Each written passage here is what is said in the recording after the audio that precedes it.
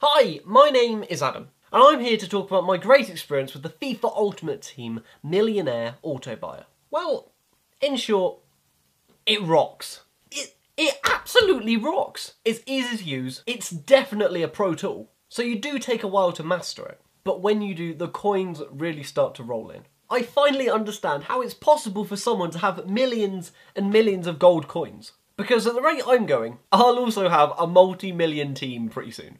I am done with manual trading. Not to mention packs. Auto buyers are the future. This is a demo of the FUT Millionaire Auto Bidder. So we go to the settings window just to make sure everything is okay. Settings. Trade pile is correct. Max bidded items, we want to change that to 25. And then we're going to click Save. Then we're going to go to Bidder Inventory, select Fitness Card. Then we're going to select the Player Gold fitness ones. Bid is going to be at 150, sell price at 250. For the pages searched, we want to insert 3 and then click Add.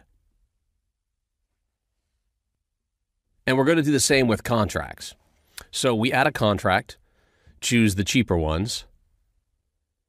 We insert the bid price at 150 and sell price at 250. Pages searched. So we're selecting these items as we could select any other items. It doesn't matter because as long as you have the correct prices, you can cut a profit on pretty much anything. We're also going to add a player card, and it's going to be Daniele De Rossi from the Italian League.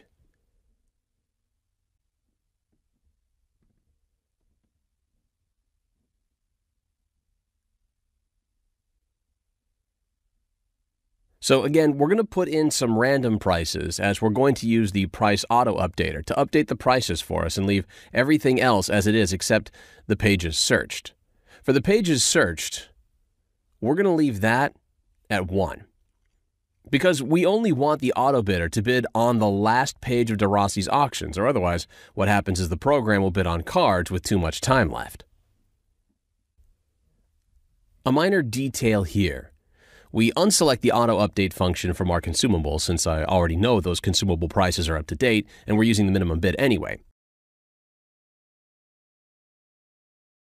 And now we want to go to the price auto updater and update De Rossi's price. And just as an example, I want to calculate my buy price at 85% of the lowest buy now in the market, so I insert 0.85. And for the buy price, I'll be looking to sell at 20% over lowest buy now. I click save and update now.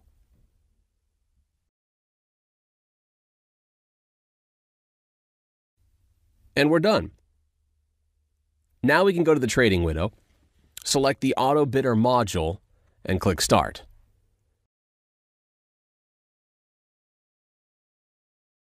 And as you can see, it's already bidding on a bunch of De Rossi cards and fitness cards.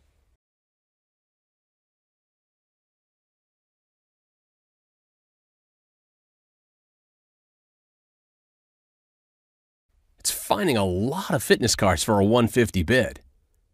So I guess the easiest way to make coins with this would just be to keep buying cards for 150 all day and then reselling them for 250 or even 200 for a quicker sales.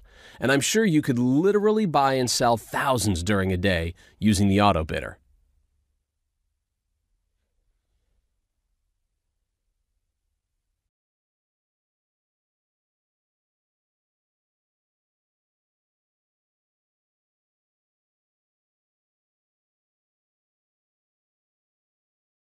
So this is the FUT Millionaire Auto Bidder, the best trading tool on the market.